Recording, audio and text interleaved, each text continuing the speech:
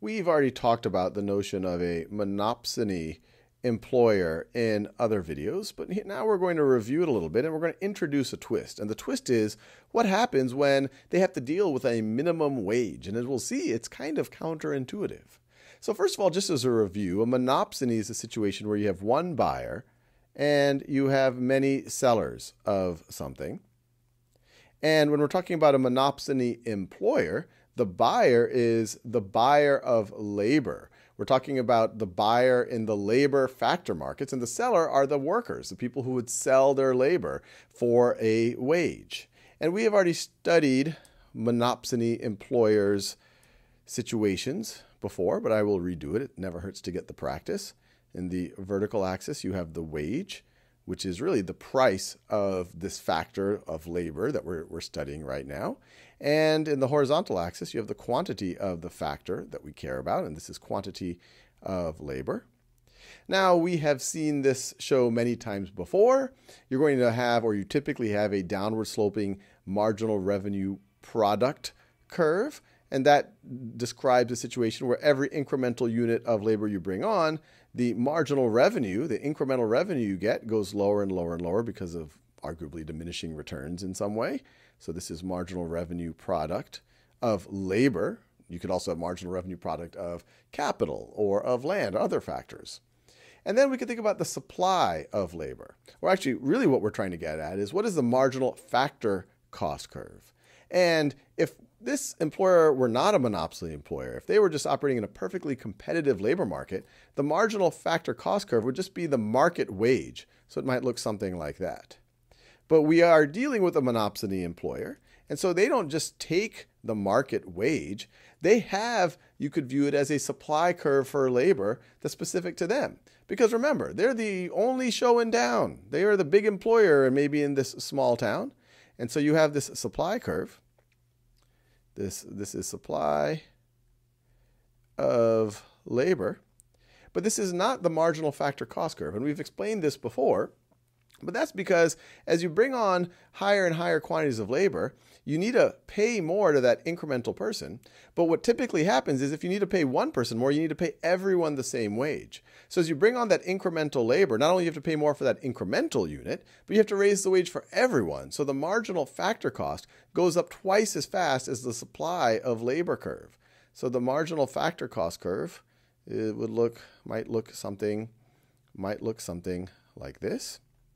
And then what's rational is a firm would keep bringing on that factor, in this case labor, would keep hiring folks as long as the incremental revenue that it gets from hiring that in that next unit is higher than the than the marginal or the incremental cost. And so they will keep bringing people on as long as the MRP is higher than the MFC. And so we would get to that point right there. And so it'd be rational for this firm to hire this quantity of labor. Let's call that Q sub 1.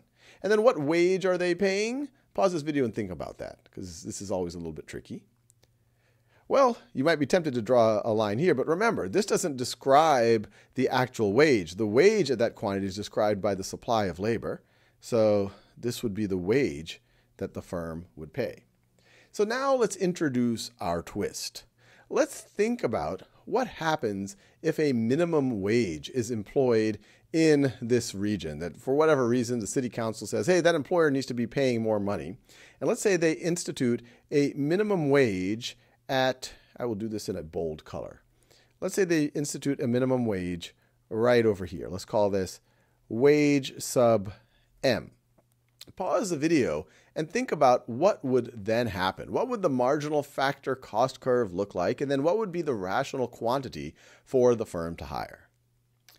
All right. So now that the the town has instituted a minimum wage and it's higher than the rational wage that the firm would have otherwise paid for labor, what it does is it at least at a certain range of quantities, it of quantities of labor being employed, it essentially makes this monopsony employer have to think a little bit like an employer in a competitive labor market where you just have to accept a wage. Now, this wage isn't being set by some market, it's being set by a government.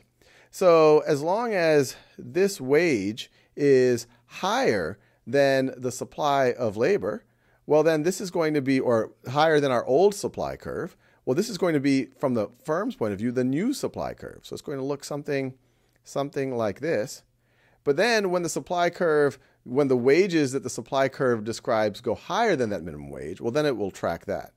So this is our new supply curve right over here. So new, new supply curve, and we're talking about supply of labor, and it's this whole red thing. And what would be our new marginal factor cost curve? Well, we said that it has twice the slope, but when the slope is just flat here, I'm going to do this in a new color. So the marginal factor cost curve, it's going to track this horizontal line right over here. And then all of a sudden, when the supply curve starts to go up, well, then it's going to jump back to the old marginal factor cost curve. So it's going to look something like this. So MFC, I'll call it 2, that's in blue. So it tracks the supply curve here when it's horizontal. And it is really just analogous to when we just have to accept a wage. And then it jumps. You have a bit of a discontinuity. And then you get up there. But what's rational as always is a firm to keep hiring as long as the marginal revenue product is higher than the marginal factor cost. So it's going to keep hiring. It's, it's as long as this yellow line is above the blue line, it would keep hiring, keep hiring all the way until this point right over here. So notice what just happened. It is now rational to for the firm to hire more people. And that is counterintuitive. In everyday thought, if I thought I was running some type of a business, if I was running a burger joint, and all of a sudden, if there's a higher minimum wage, then it feels like, hey, I might not have enough money to hire people. I might lower the number of people I hired. But we just showed, at least with some, with a very simplified economics model, that theoretically, when you're dealing with a monopsony employer, it actually might get them to hire more people. So, an interesting question is why did this counterintuitive thing happen? And one hand wavy argument, but I encourage you to ponder it, is to realize that in the old world, every time they brought on an incremental person, they had to raise the salary of everyone. And that's what made the marginal factor cost go up so quickly. But now, since you have this whole flat part of your supply curve, because regardless of how many people you hire in this range right over here, you're paying the same amount, that incremental person does not increase the wage for everyone else. So that is what made it rational for the firm to go and keep hiring.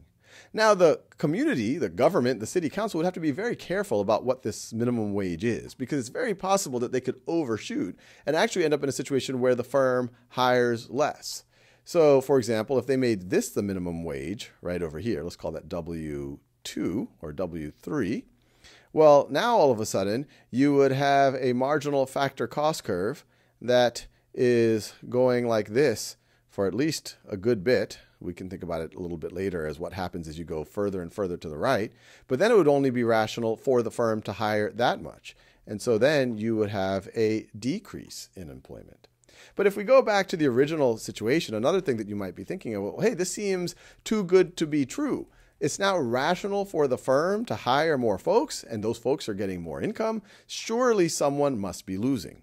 And it is the case that the firm is now going to lose more of, I guess you could say, the surplus that it was having in the old world. And more of that is now being given to the workers.